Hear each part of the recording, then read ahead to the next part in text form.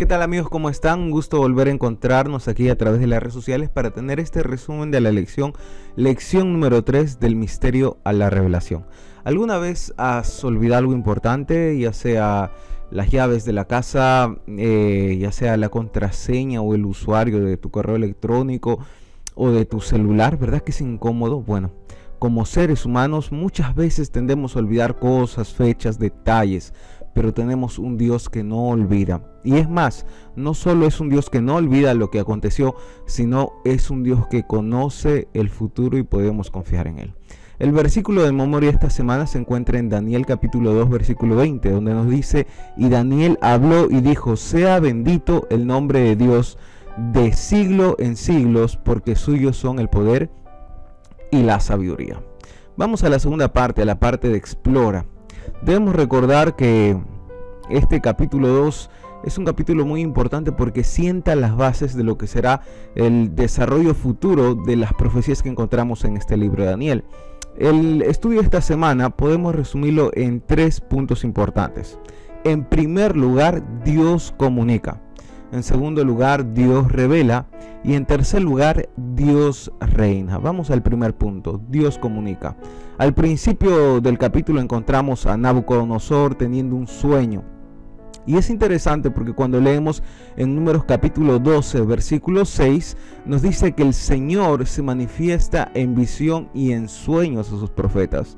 Y aquí en el capítulo 2 encontramos que no solamente a sus profetas, sino también en este caso a personas que no eran del pueblo de Dios. Debemos entender algo.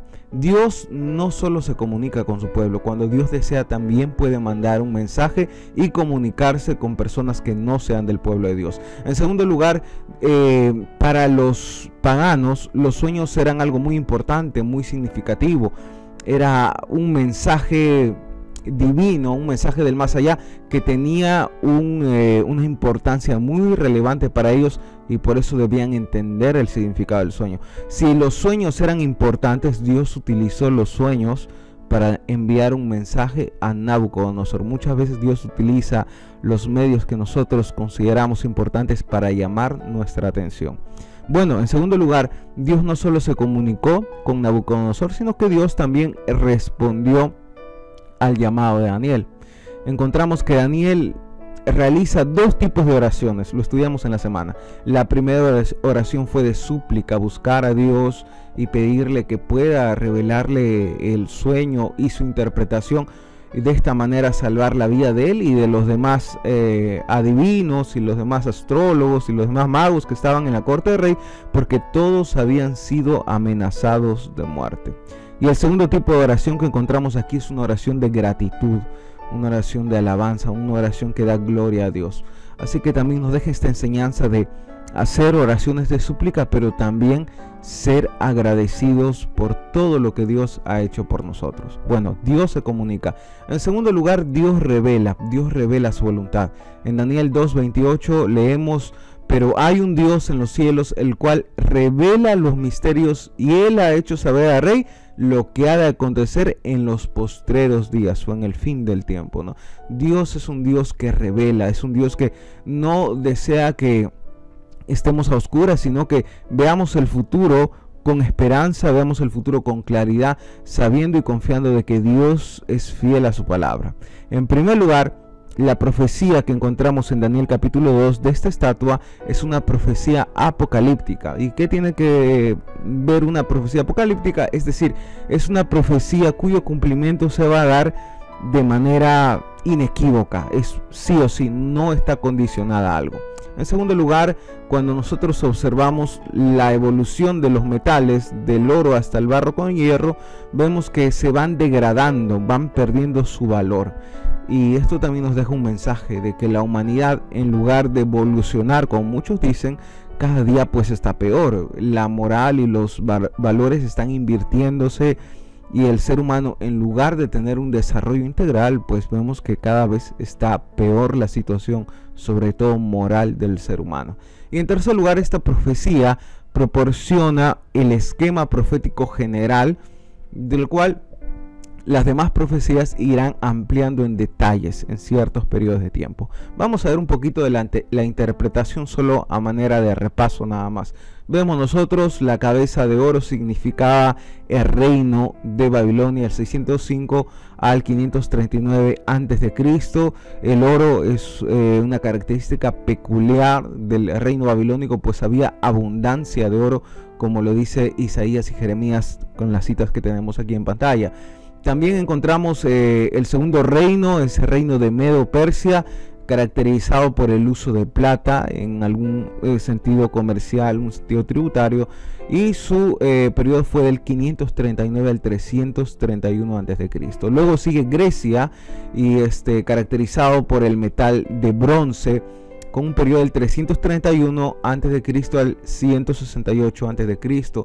Un este, historiador llamado Herodoto hablaba del ejército de los griegos como hombres de bronce, ¿no? Ahí la característica del bronce ligado al reino de Grecia.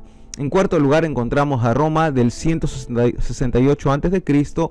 al 476 después de Cristo.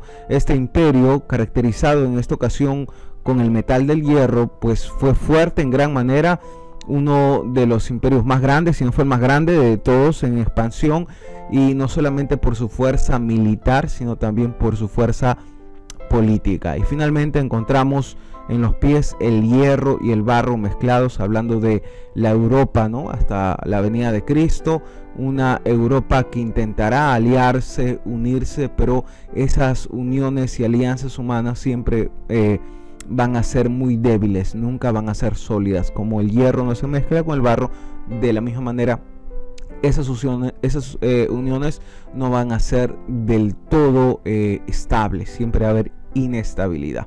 Bueno, vamos a la tercera parte, quizá la más importante y el mensaje de el capítulo 2 de Daniel. Dios reina. ¿Quién es esa piedra? Cuando leemos Deuteronomio, Salmos, 1 Pedro 2.4, Efesios 2.20, eh, está hablando de Dios, está hablando de Cristo, está hablando de, de Dios de manera que Él reina, de manera que Él gobierna. Y el evento que nos apunta a esta profecía es a la segunda venida de Cristo. En la lección, en la página 32, nosotros leemos que dice, la metáfora de la roca a menudo simboliza a Dios y la piedra también puede ser una representación del Mesías. Por consiguiente, no hay nada más apropiado que la figura de una piedra para simbolizar el establecimiento del reino eterno de Dios, una piedra no cortada por mano, hablando que no es de procedencia humana, sino de procedencia divina. Finalmente hace un gran monte y cubre toda la tierra. Bueno, esta es la profecía eh, que hemos estudiado en esta semana y quizá tenemos aquí alguna cita que nos puede llevar a la reflexión. Esto encontramos en, en Profetas y Reyes, página 367. En la historia de las naciones, el que estudia la palabra de Dios puede contemplar el cumplimiento literal de la profecía divina. Babilonia, al fin quebrantada, desapareció porque en tiempos de prosperidad sus gobernantes se habían considerado independientes de Dios y habían atribuido la gloria de su reino a las hazañas humanas. Trágica suerte de Babilonia, pero es una historia que se repite con, de manera puede ser general con los estados, gobiernos, pero también de manera particular con cada ser humano, cuando atribuyes la gloria de tus éxitos a tu fuerza, a tu capacidad, a tu inteligencia, a tu estrategia, a tu astucia, y en lugar de dar gloria a Dios y humillarte delante de Él, eh, te enorgulleces, pues es el primer paso para la caída. Fue el triste destino de Babilonia y los gobiernos y los imperios que siguieron. Bueno, algunas preguntas para reflexionar. Dios conoce hasta nuestros pensamientos más íntimos. Tú puedes leer Salmo 26, 2 y lo encontramos en la historia de Nabucodonosor. Dios le reveló a Daniel no solo lo que Nabucodonosor soñó, sino le reveló inclusive qué pensamientos tenía Nabucodonosor antes de quedarse dormido. ¿no? Dios conoce. Si Dios conoce eh, mis pensamientos, ¿qué tan importante es saber que Dios conoce mis pensamientos? Y si es así, ¿para qué orar si Dios ya sabe? Es una pregunta que dejamos abierta para que tú puedas debatir en clase, puedas tener un momento de reflexión. En segundo lugar, ¿qué tipo de desafío enfrento actualmente que requiere de la sabiduría divina? Lo que hizo Daniel fue muy prudente. Él pidió sabiduría a Dios. ¿Será que el día de hoy estamos enfrentando alguna situación en la que más que conocimiento humano, más que algún repaso de teorías o consultar a algún amigo, necesitamos doblar nuestras rodillas y pedir sabiduría divina. Bueno, entonces si tienes algún caso que requieran de la intervención divina, pues pide sabiduría, como dice Santiago eh, capítulo 1 versículo 5, si uno falta sabiduría, pues pídala a Dios. Y finalmente vamos a la parte de crea, algunos, algunas actividades para desafiarnos. En primer lugar, quiero animarte a que puedas prepararte desde ya para los 10 días de oración. Del 6 al 15 de febrero van a ser 10 días de oración del todo especial con un énfasis remarcado en rescatar a aquellas personas que un día se fueron de nuestra iglesia. Así que participa, así como Daniel oró para que Dios pueda intervenir y poder eh, tener la revelación del sueño, nosotros vamos a orar 10 días también para que Dios nos ayude, nos dé sabiduría y también nos dé amor por aquellos que se han alejado. En segundo lugar, practica los tipos de oración que hemos encontrado en el capítulo 2 de Daniel, una oración de súplica, de, de humillarse delante de Dios y también una oración de gratitud es bueno ser agradecidos con Dios por todo lo que nos da. Y finalmente decide dar estudios bíblicos a un amigo, familiar, comparte a Jesús con alguien que lo necesita. Seamos esperanza para los demás, seamos de bendición para quienes nos rodean. Bueno, este ha sido de repaso de la lección de escuela sabática de esta semana. Espero que te haya gustado. Todos seguimos conectados. Una hermosa lección la que estamos estudiando en este trimestre. Y bueno, si deseas la presentación en PPT o en, en modo Prezi, pues eh, estamos dejando el link para descargar aquí en el video lo puedes descargar compartir y espero que sea de mucha utilidad. Que Dios te bendiga y que sigamos estudiando todos los días la palabra de Dios fortaleciendo nuestra fe y compartiendo con los demás. Muchas gracias